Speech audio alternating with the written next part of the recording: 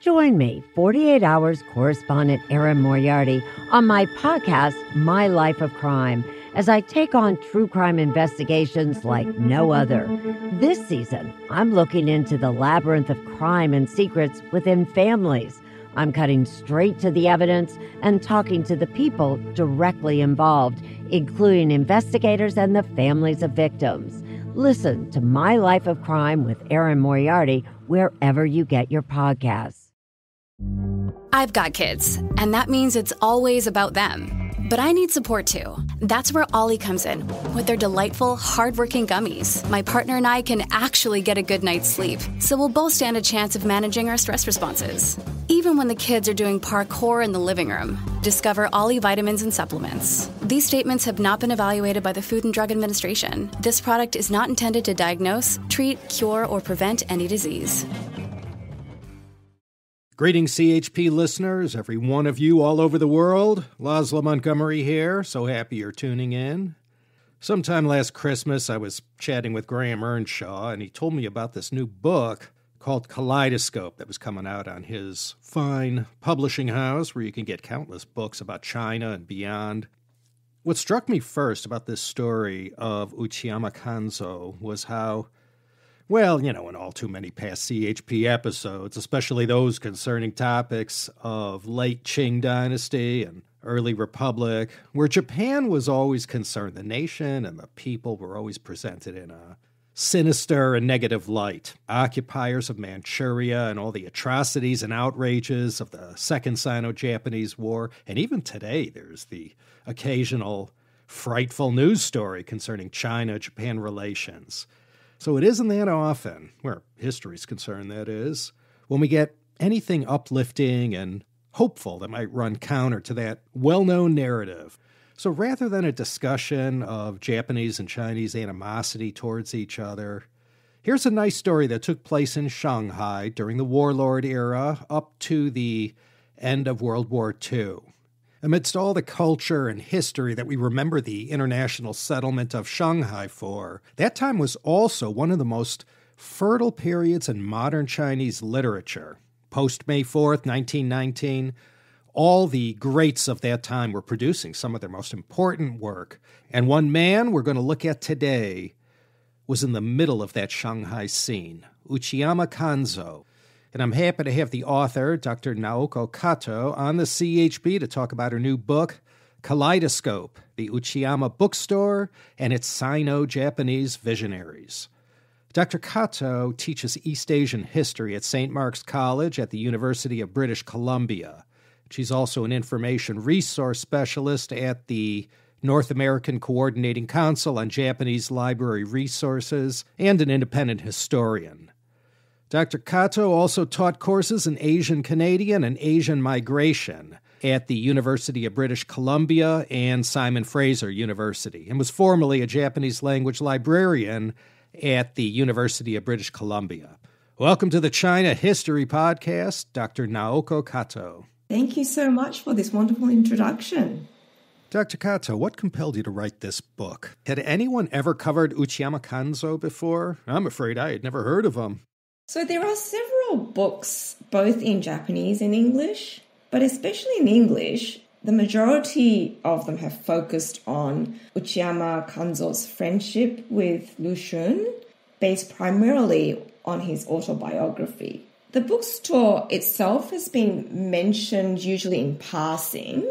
For example, Chinese students at school would have used textbooks that mention Lu Xun visiting the bookstore but there aren't a lot of works that really examine the multiple functions that the bookstore had, especially ranging from the pre war to the post war period. And I originally came across this story of the bookstore when I was actually a graduate student taking a Republican China history course. And I was really fascinated by this Japanese owned bookstore that acted as a Japanese Chinese cultural salon during a time when Japan and China were at war with each other.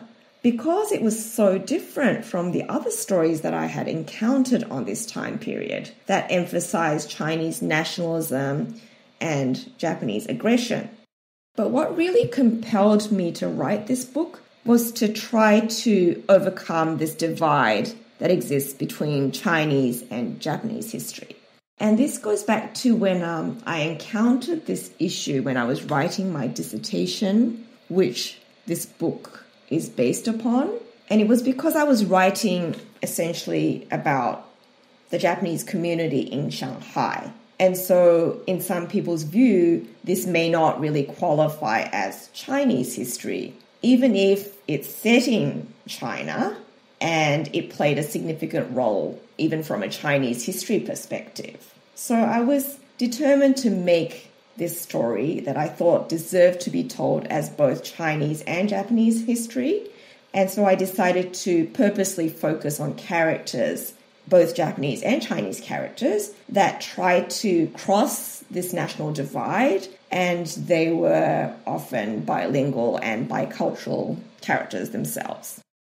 So, after living the life of a wastrel for much of his early years, Uchiyama met Pastor Makino Toraji and converted to Christianity and remained a lifelong practicing Christian. When was this, and how did this change Uchiyama's life? Yeah, Uchiyama actually um, dropped out of school very early in his life. By the age of 12, he was working, and um, he'd gone through stages in which he wasted his money away on dining out, and his parents and relatives cut ties with him for his dishonest conduct. And he even used to believe in a lot of superstition. Around the time of the Russo Japanese War, you know, Uchiyama was this typical patriotic youth and um, he considered himself a failure in society basically because he hadn't completed school and, and he kept changing jobs and he wasn't getting anywhere. So he was at a stage in his life where he'd experienced many failures and was really feeling like he needed to change the way he had lived. And what he heard at church was really completely different in terms of from what he had known and the way he had lived up until that point. Yeah, and then he met Miki through Pastor Makino, and who was also trying to change her life around. So this was a, a, a turning point in his life. How did he end up in Shanghai? What year was that? Uh, 1913, actually. Um, he, through the church, got this job at a pharmaceutical company in Shanghai. So again, he was wanting to change jobs and and this job came out, this opportunity to start anew in a different country. Um, this was a time when Japanese pharmaceutical companies were expanding into China. It saw, you know, um, China as a way to increase their revenues, their sales. Uchiyama Kanzo marries um, Miki in 1916, three years after he goes to Shanghai. And she is the one who actually starts a Christian bookstore in 1917, while Uchiyama continued to work for the pharmaceutical company until 1930. The part in the book that explains Uchiyama's vision for Pan Asianism it differs from the more virulent Japanese government view later manifested in the greater East Asia co prosperity sphere. How did Uchiyama view this whole idea of Pan Asianism? I think it's based on his lived experiences. And by that I mean, especially the first two years when he was working for the pharmaceutical company, he was selling eye drops and you know, putting up posters and things along with his Chinese counterparts. So he traveled to all the different cities along the Yangtze River and he called himself a Japanese coolie um, working alongside Chinese coolies. And, um, you know, Uchiyama had done a lot of different jobs in his past, like cleaning toilets and delivering newspapers. And so I think he felt this affinity with, you know, people. He wasn't this elitist. So he felt this affinity, I think, in that way. And he also learned a great deal from um, this because it was during a time of heightened tension already with a lot of anti-Japanese boycotts. And if you just sell these eye drops in know one way, you know, it's not like advertising it in Japan. You you are dealing with Chinese people. So he's realizing that it really has to be a reciprocal relationship, not just a one way relationship. And you need to gain trust in order to gain customers. So I think that differed from just the, the way the government was propagating it because it wasn't working that, that way, in a one way. And I also think that his sense of affinity that he felt with his Chinese counterparts had to do with his um, belief in Christianity. Like Christian universalism and humanism, I think, played a part because 99% of the Japanese population are, you know, Shintoists or Buddhists, and and he's this minority one percent, which set him apart in terms of his identity as well, right? Um, so I think it's a combination of his lived experiences and his faith. So let's talk about the man whose interaction with Uchiyama Kanzo was central to the book. Chairman Mao called Lu Xun the greatest and most courageous fighter of the new cultural army. When did this most consequential of 20th century Chinese writers first visit the bookstore? And what were the circumstances that Lu Xun and Uchiyama met? So um, it was in 1927, October. Lu Xun had just moved to Shanghai from Guangzhou, and um, soon after he visited the bookstore. So, April 1927, the Kuomintang under Chiang Kai shek carried out this full scale purge of communists in Shanghai, and um, Shanghai becomes a mecca for left wing writers, with Mao Dun, Guo Moruo, and Xia Yan settling in Shanghai because it was the safest and most productive place for writers to be under the protection of foreign concessions rather than being in cities under direct Kuomintang control. So that was the circumstance, like the political circumstance. And in addition, um, when talking about the bookstore, it was a time when it was turning into a Sino Japanese bookstore. As I said, before. Um, it, it started off as a very small Christianity related books and basically targeting Japanese Christians.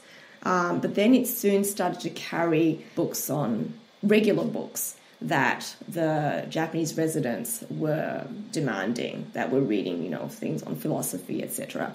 So it had actually developed into this bookstore with about 200 shelves. It it was expanding, and it even had um, a table with a couple of chairs where people could chat. Um, so it was expanding, and actually, let's get back to the the day in which Lu Xun visits the bookstore because, um, yeah. The Uchiyama bookstore's um, longtime employee, his name was Wang Hongrian, recalls um, on the first day that Lu Xun visited, he bought more than 10 books, amounting to over 50 yuan, which was more than what the bookstore would actually sell in a day. So it was memorable in that sense.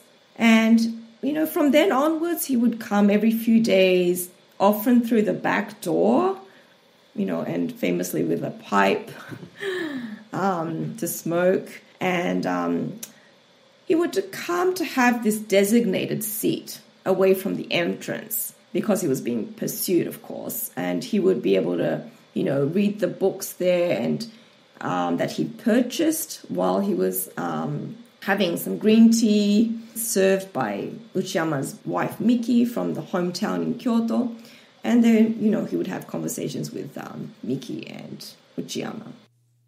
And what was the attraction of Japanese books to Chinese intellectuals of the 1920s and 30s. In your book, you go beyond Lu Xun and Uchiyama's friendship to include many other uh, characters. So, Uchiyama Bookstore actually carried books that were not available from Chinese bookstores because they were considered illegal, and um, publication of left wing books and magazines were severely restricted in the 1930s.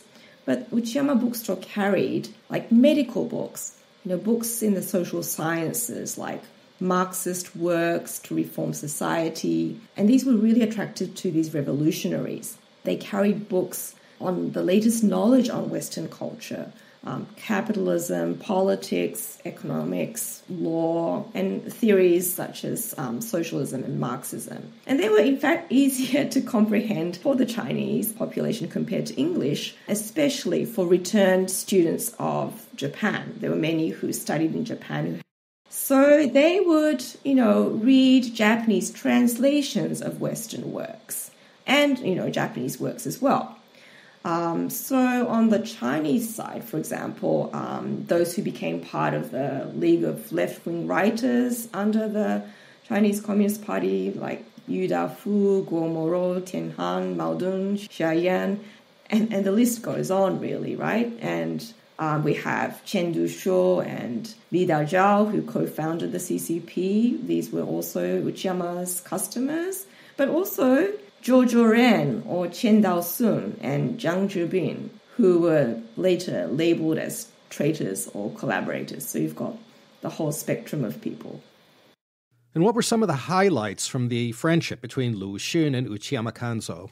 So I think the most dramatic ones where, you know, your friendship is tested, um, because it does take courage to evacuate um, under these circumstances. So I'm talking about um, the times in which um, Uchiyama actually enables Lu Xun to take refuge while he was being persecuted by the Kuomintang. So there were a couple of incidences, and that really was risky um, to be supplying a place and you know providing food, etc solution. So, so I think those are the times that were highlights.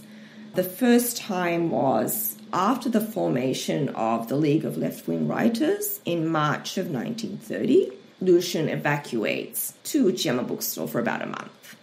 And in January of 1931, so about a year later, Lu Xun takes refuge again for about a month as the Kuomintang arrested dozens of activists, including League of Left Wing Writer members. And in February, in fact, some of them actually are executed. So they were in real danger. I mean, Lu Xun would have been in real danger. So those are some of the highlights, but I also wanted to equally emphasize sort of the daily routine because that's it doesn't just come out of nowhere these highlighted events in fact, he establishes this relationship and this friendship through these daily visits. In actual fact, I think he visited in the span of 10 years about 500 times and then bought about a thousand books over that course. And I have actually another chapter in an edited volume where I have Lu Xun's diary from May of 1932 that illustrates sort of the, this daily routine. Um, so I'll read a little bit from that.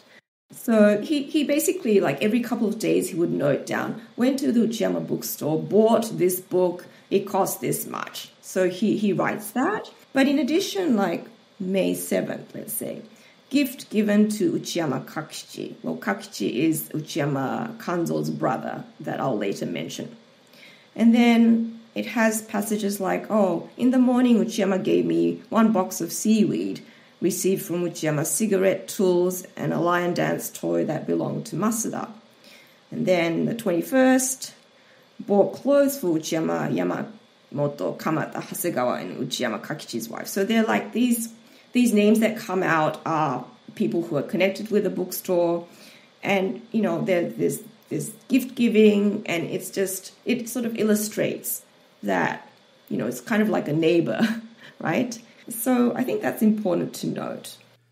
And what were these Mandan Kai or Wan Duan Hui, these conversation salons that Uchiyama sponsored? Yeah, I guess uh, Mandan Kai, the direct translation would be like informal chatting group. Chatting sounds strange, but I guess where you could converse. It was not a real formal organization, like there were no membership fees or rules, but it's just that Uchiyama provided a venue um, for for people to gather at the bookstore, and it, it ranged from about ten to twenty people.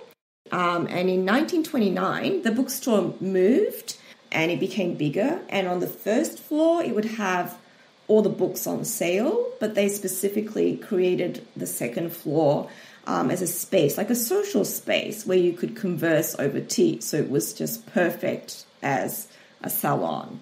So the types of people who came, you have Japanese residents of Shanghai. Okay, so you've got journalists, artists, I mean, business people. And then you have a core um, group of returned Chinese students of Japan, and these were writers, poets, and playwrights. And of course, you've got Lu Xun as well. And in addition, you've got visiting Japanese writers. So in 1923, it becomes easier to travel from Japan to um, China through the port of Nagasaki. There's a steamship that goes to Shanghai. So there are many Japanese writers who would come, and you know some of the Chinese return students would have known these writers before when they were in Japan. So it was um, sort of a natural gathering space. And actually, the title of my book, Kaleidoscope, is based on the magazine that they actually published, this group of people who went to the Mandankai, and it was called Kaleidoscope, which is why I named my book. After the Mukden incident in 1931 and the Japanese takeover of Manchuria, how did Uchiyama step up to become a peacemaker? Um, so I talked about the two times that Uchiyama helped Lu Xun evacuate. And the third time, actually, Uchiyama protects Lu Xun is at the beginning of 1932, um, following the um, January 28th incident. So that's a practical way in which I guess you could say that he was playing his part. During this time, from about, you know, 1931, he steps up to arrange for translations of Lu Xun's books into Japanese. He is the matchmaker in a sense that he knows good Japanese translators and he would match them with Lu Xun and they would have sessions on like Chinese literature, make sure that they're on the same page on that. And the bookstore publishes these translated works of Lu Xun's through the bookstore. Another thing that um, he engages in is um, woodblock prints, actually, um, because you know Lu Xun is trying to use literature as a tool to change society, but realizes that you know there's a whole set of people who are not literate. So woodblock prints would be um, able to reach a, a larger audience, but they don't have teachers or a movement yet. And here comes actually Uchiyama Kanzo's brother who lives in Tokyo, who visits Shanghai. And they start talking and they realize that, oh, he's a school teacher who knows how to actually teach woodblock carving to Chinese emerging artists. So Uchiyama um, arranges for this. Lu Xun is the translator, and the brother teaches at a workshop. And then Uchiyama also arranges exhibits to display these um, works by Chinese emerging artists, as well as some of the German and Russian woodblock prints that Lu Xun had collected. Yeah, last week I was at the Wende Museum here in Culver City. It's a fascinating museum of the Cold War. And I was at a private showing of this very unique exhibit of Cultural Revolution art. And during the tour, uh, given by one of the curators, Jamie Kwan, she introduced woodblock prints and mentioned that, you know, Lu Xun was a popularizer of this style of art. And, and I had just learned all this prior to hearing it, you know, from reading your book. From 1937 until his death in 1959, Uchiyama tried to serve as a bridge between the people of Japan and the people of China. And that, in those years, was not an easy mission given the mutual feelings on both sides. How did Uchiyama stay positive, and what were some of the things he did, and how did he go about trying to push this boulder up that hill? He resorted basically to publishing essays and giving lectures on China. This was actually the period in which he was most productive in terms of his own literary production. Uh, he would actually write every day in the mornings before starting his job at the bookstore, where he continued to sell books to Japanese customers. Because sadly, Chinese customers were no longer visiting, and Lu Xun had just passed away the previous year. And the articles and essays that he published were based on his lived experiences from the 20 years of selling eye drops and, and, and his books.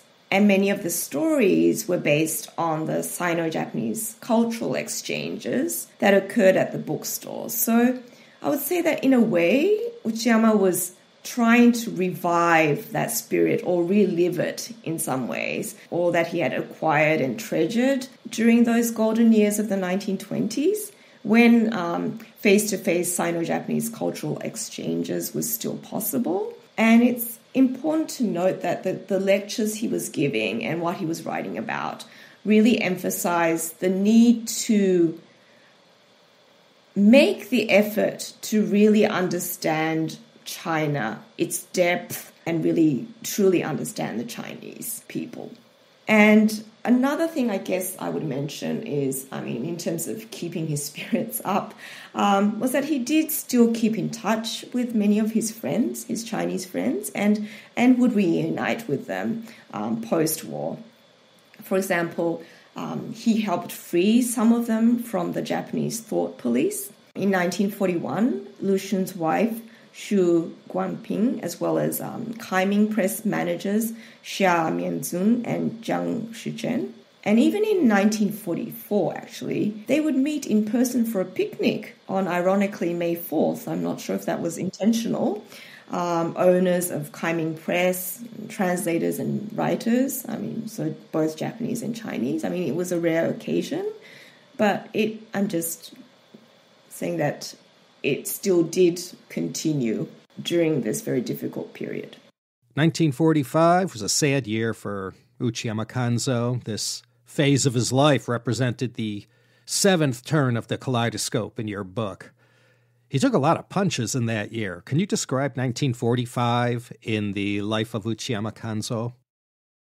Yes, it was. Uh, it didn't start off well as January 1945, his wife Miki passed away, and um, Uchiyama was in fact so devastated that he was unable to come out of his house for 10 days. And his friend helped him create this grave for his wife Miki and himself so that he could, re- you know, later rejoin her in Shanghai, um, you know, the grave.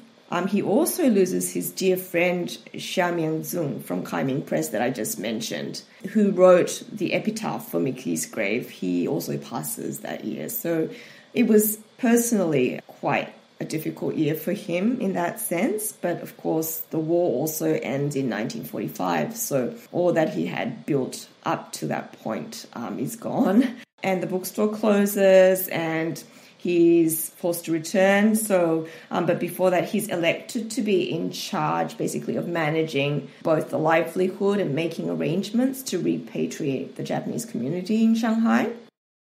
How did Uchiyama's post-war life pan out? What happened after he arrived back in Japan? And besides his involvement in the JCFA, what else did he engage in to keep busy? So Uchiyama returns to Japan in 1947 and stays with his brother um, Kakichi at Tokyo's Uchiyama bookstore that was there. And he really spends the vast majority of the first 17 months back in Japan giving talks on China. And that amounted to about 800 lectures in the span of, yeah, 17 months. And when he did get a chance to revisit China, uh, for example, in 1953, as part of a delegation, he would be busy noting down everything that he observed in terms of the changes that he saw in China and would write about it, publish, and give talks on the new China. And he would keep giving talks until his death, until 1959 when he passed away, which was not actually an easy task during this period because every time one would speak about China, and if let's say you're talking about even promoting trade with China, people were under the impression that China equaled, you know, communist party and to even be part of the Sino-Japanese friendship movement, as it was called, was extremely difficult, um, considering also that Japan was occupied by the United States um, until 1952. What kind of events did the Japan China Friendship Association engage in? And is it still around today? Yes, it is. It's still around. One of the things that they were engaged in was returning the remains of Chinese forced laborers who worked in Japanese mines, for example, um, and end up dying in Japan. The other part to that was also repatriating Japanese orphans from China. So Uchiyama, for example, went to China in 1953 as part of the effort to repatriate. Um, there were 30,000 Japanese that were left behind at the end of the war. The uh, organization is known for producing content that makes known Japan's wartime so called wrongdoings, highlighting its atrocities that uh, Japan committed against Chinese. And it's, um, yeah, it's also involved, for example, in um, maintaining the peace constitution. So um, after the war, Japan has this Article 9 peace constitution to never go to war again. So it's, you know, the organization is backing that up. Japan PRC diplomatic relations commenced in 1972 with Prime Minister Tanaka. So prior to normalization and up until his death in 1959, did Uchiyama play any unofficial roles as a middleman between political figures in Japan and China?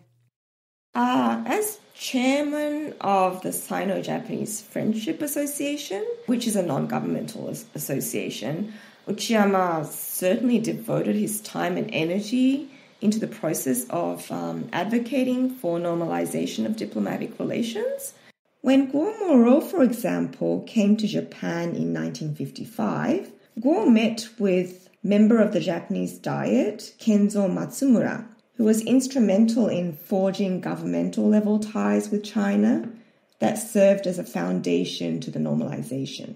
And Uchiyama was asked from both the Japanese and Chinese sides to be present at the meeting. And of course, Guo Moruo was, you know, his customer and longtime friend from the bookstore years. So, yes, he, he still tr- was able to play this middleman type of role that he seems to be really good at. How is Uchiyama Kanzo memorialized today? I'm sure your book will go a long way in creating awareness about him. Are there any monuments to Uchiyama in China or in Japan? Yes, in fact, in both places he is. So in Japan, he was born in this pre- prefecture called Okayama Prefecture. And so there is a monument to mark his house where he was born and a statue of Uchiyama, a monument actually with a poem written by Guo is there. And the original books that he published himself are also preserved at the library in Okayama. Um, in addition, in Japan, as I kind of mentioned before, um, there is a Tokyo Uchiyama bookstore that was founded by Uchiyama Kanzo's brother back in 1935, which even still to this day exists. Um, and interestingly enough, it carries, it has always carried everything to do with China. So it's a, it's, it's a sort of a specialized bookstore on things related to China. And it is in this district called Jinbocho, which is a famous district for all different types of bookstores, specialized bookstores, independent bookstores. So that's in Japan. And in China, uh, we have the Duolong Road Culture Street with life-size bronze statues. This is in Shanghai, in at the Lu Xun Museum and the Wanguo Cemetery. You know, the, um, Uchiyama is mentioned. But more recently, there's been some exciting news of Uchiyama Bookstore reopening in the city of Tianjin and also in Shanghai. The one in Shanghai is called the 1927 Lu Xun and Uchiyama Memorial Bookstore. And this one was built around the same time as when my book came out at the end of last year. And that is recreating the Uchiyama bookstore space. And in fact, it is the bookstore um, in Shanghai is located at the same place where Uchiyama bookstore was. I think the hope is that they would be able to create more of these, I've heard, bookstores around throughout China.